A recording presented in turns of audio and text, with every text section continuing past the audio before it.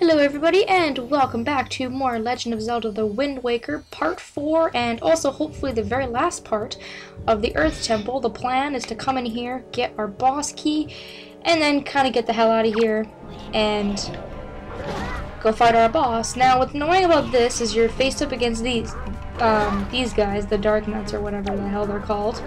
And you also have these little I, I think they're called like bubbles, but I call them like flames with or skulls with flames most of the time. But anyways, um, if their gas touches you, you won't be able to draw your sword and defeat that Darknut. So what I suggest doing is just taking care of them first of all. Get them the hell out of your way because they're just annoying, and then wait for the button commands and take these guy, this guy out as you usually would, as per as per usual.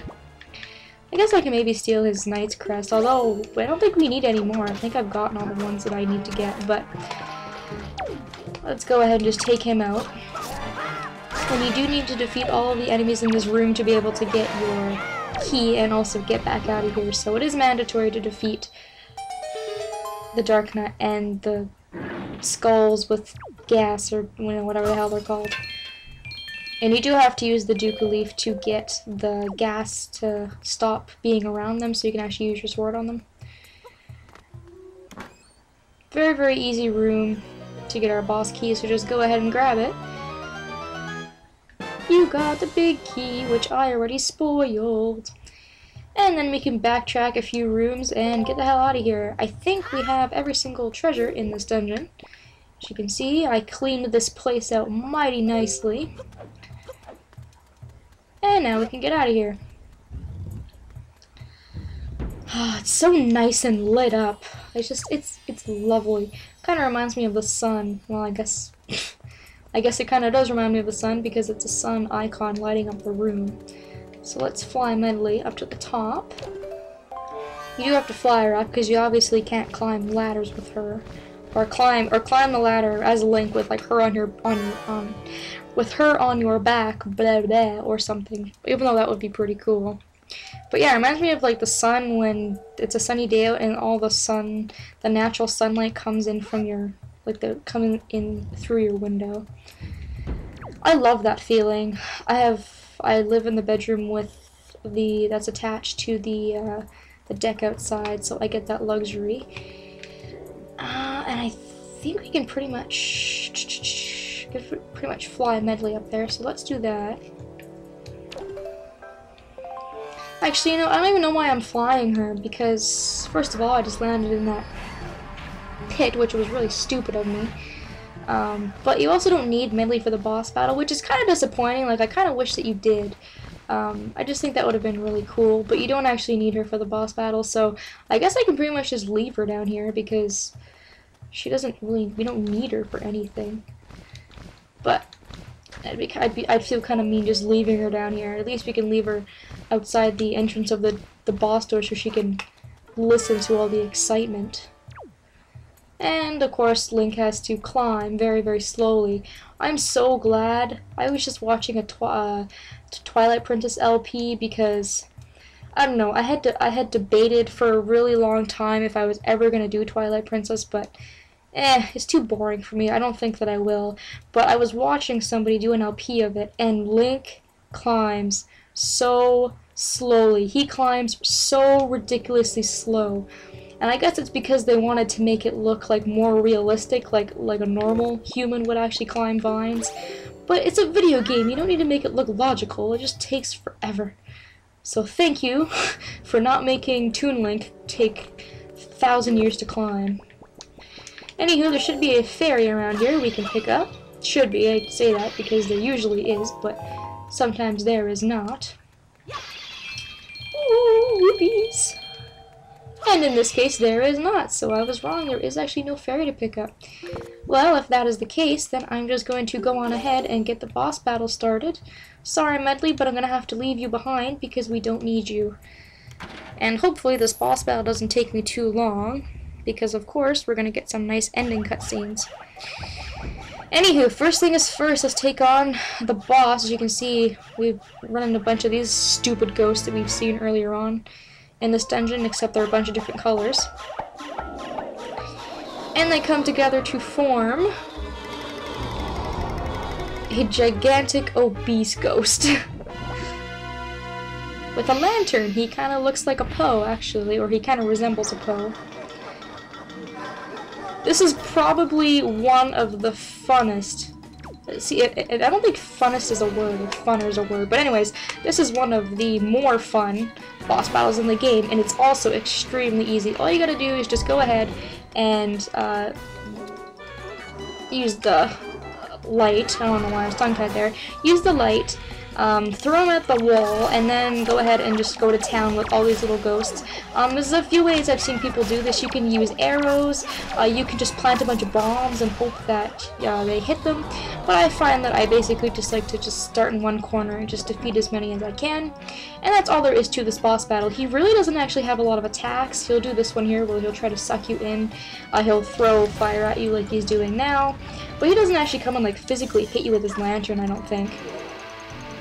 So all you do is you, you know, hit them, and then you, of course, using the, the mighty power bracelets that we got, we can lift this gigantic ghost, and then you can defeat all his little babies, or whatever the heck they are. Friends, I don't know. They still do take two things to defeat, which is kind of annoying.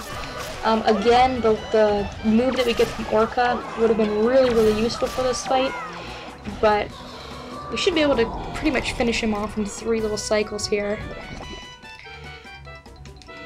And I also love the music for this. It's it's very like I don't know, um, what's the word? Mischievous, I guess. Kind of like mischief, like, a like a ghost likes to cause mischief. I guess that's kind of what it reminds me of. Um, and I think it's so suiting for this boss battle. Definitely, definitely a great choice of music. But then again, Zelda always has a great choice of music. And did you did you not see that? Did you see how incredibly fast he came back that time? Wow. That was ridiculous. I only got one ghost destroyed before he did that. Anywho.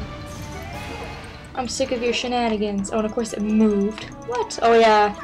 I forget when uh when you start pretty much destroying him utterly uh, the light moves, which is annoying, and he gets a lot faster. So here I here I said, oh yeah, three cycles and it should be done.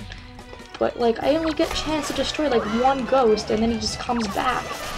I'm like, how annoying is that? come on. One more. Eh. No. Ugh. Ugh. It's a good thing that it doesn't take that long to actually get those ghosts to come out, because if it did, that would just be painfully annoying. Yeah, see, it moves. Where did it go? Where did it go? Oh, it's over there. Oh, he like belly flops on you too. That's funny. I don't think I've actually seen him do that. Okay, one more ghost. This cannot be that hard to find. Seriously, we could have had him defeated last time. That was ridiculous. But yeah, really fun boss battle. Didn't really take any damage, I don't think, on that one. And I think it's really cool that they combined not only the temple item that you got, but they also combined the power bracelets that you had to use to actually get into this temple. So I thought that was really cool that they used both of those items. So there we go. The Earth Temple is now officially done on Link's part. And we can hopefully get our Master Sword powered up and move on to the next temple. Of course, it's got the Triforce in here. Let's go grab our heart container.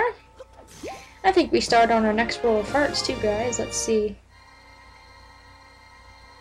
Oh, we don't. Wow, that's a long row of hearts. Anywho, we still got one more heart container, so that's pretty cool. And here comes Medli, because we left her behind. I don't know how she knew the battle was done, but... Let's let her do her thing and finish up in here for good.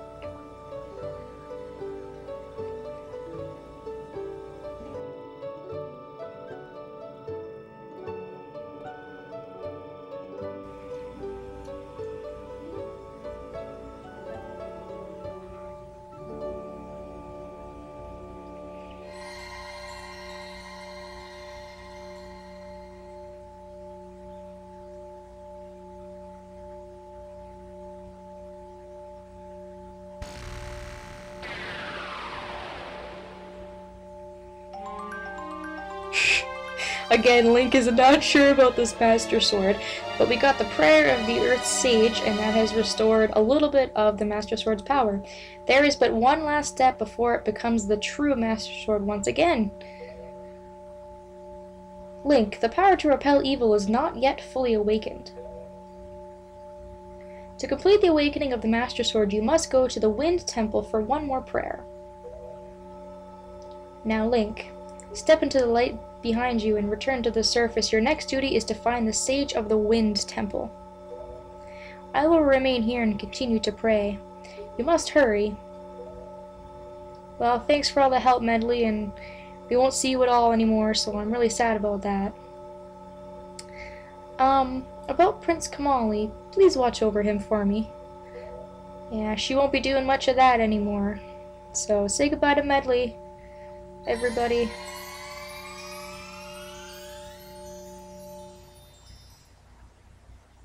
And also say goodbye to the Earth Temple and be welcomed back to the beautiful outdoors once again. I think the King Red Lions will speak to us. The Master Sword's power still has not fully returned. Perhaps I am mistaken, but I fear the worst for the sage in the remaining temple. You must hurry, Link. Okay, so we're obviously not going to do that in this video, but the next time we obviously have to head up to the Wind Temple. Um, of course, we have to find the power to get in there first, and then we have to find the person. So I haven't un actually unlocked this on my sea chart for whatever stupid reason, but the island that we actually need to go to is right here. So it's really not a long sail. And what I'll probably do is just meet you guys there next time um, because, you know, there's no use in going to the temple because it's going to be the, the, same repeat of last time uh, if we do, if we go there before we're properly equipped. So, I think that's all for this video. Like I said, I'm just going to meet you in that square to get our next item. So thank you all so much, very much, thank you so very much, I should say, for watching this episode of Legend of Zelda The Wind Waker, and I hope that I'll see you all next time.